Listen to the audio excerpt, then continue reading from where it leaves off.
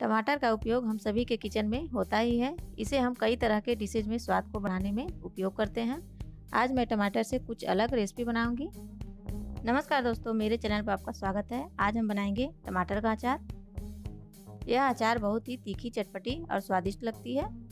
तो अगर आपको हमारी ये वीडियो पसंद आए तो वीडियो को लाइक करें और शेयर करें और चैनल को सब्सक्राइब करना ना भूलें। तो आइए टमाटर का अचार बनाना शुरू करते हैं। हमने यहाँ पर 500 ग्राम अच्छी तरह से पका हुआ टमाटर लिया है। इसे हम बड़े बड़े टुकड़ों में काट लेंगे। दो बड़ा चम्मच इमली का पल्प। इमली को हमने 10 मिनट पहले पानी में भिगो लिया था और इसे अच्छी तरह से मैश करने के बाद इसे हमने छन्नी से छान लिया है। अचार बनाने के लिए करीब 200 सौ सरसों का ही तेल लेंगे। चार सूखी लाल मिर्च, एक बड़ा चम्मच सरसों दाना, एक पिंच हींग एक चम्मच हल्दी पाउडर एक बड़ा चम्मच लाल मिर्च पाउडर, स्वादानुसार नमक, और इसके अलावा यहाँ पर हमने कुछ साबुत मसाले लिए हैं, जिसमें एक चम्मच मेथी दाना, एक चम्मच जीरा, एक चम्मच सौंफ और एक चम्मच साबुत धनिया। तो आइए अचार बनाना शुरू करते हैं। सबसे पहले हम पैन गरम करके साबुत मसाले को थोड़ी देर के लिए रोस्ट कर लेंगे।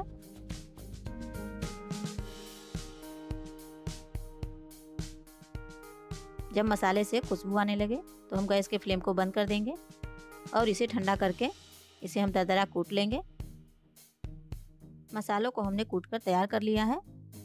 टमाटर को हमने काट लिया है। अब हम सेम पैन को गर्म करके इसमें टमाटर डालकर इसे हम अच्छी तरह से गलने तक पका लेंगे।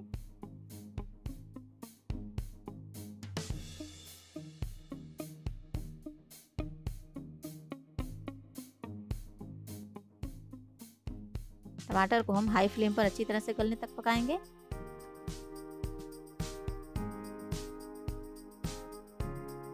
टमाटर अब गल चुका है। अब हम इसमें इमली का पल्प डालकर इसे भी मिक्स कर लेते हैं।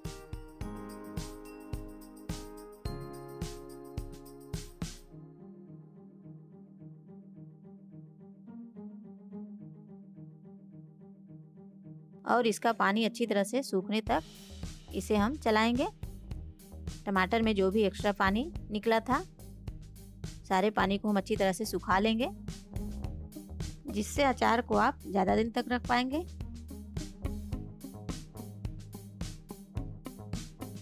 टमाटर में जो भी एक्स्ट्रा पानी निकला था, वह अच्छी तरह से सूख चुका है। अब हम गैस के फ्लेम को बंद कर देंगे और इसे हम अच्छी तरह से ठंडा होने देंगे।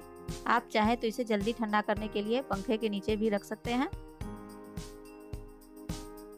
इसे हम मिक्सी जार में डालकर पीस लेंगे।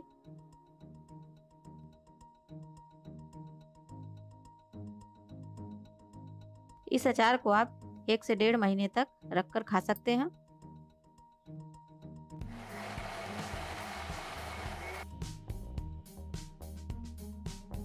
गली हुई टमाटर को हमने पीसकर तैयार कर लिया है।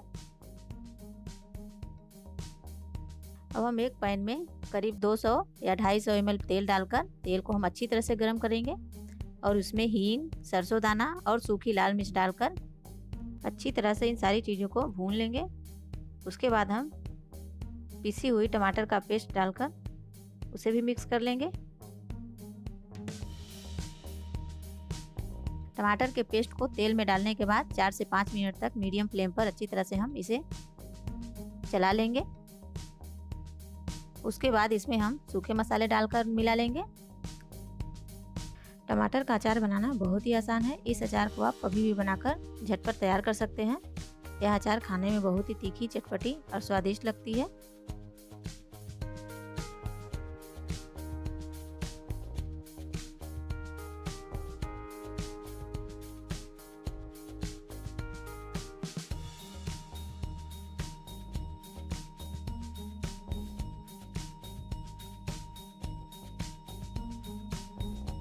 अब डालेंगे कुटा हुआ मसाला, स्वादानुसार नमक, और इन सारी चीज़ों को अब हम अच्छी तरह से मिला लेते हैं। और मिलाने के बाद इसे हम फिर से चार से पाँच मिनट तक इसी तरह मिक्स करेंगे।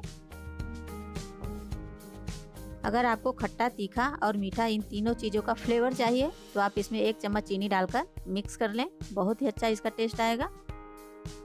गैस के फ्लेम को मीडियम ही रखेंगे और इस पेस्ट को तेल छोड़ने तक लगातार चलाते रहेंगे।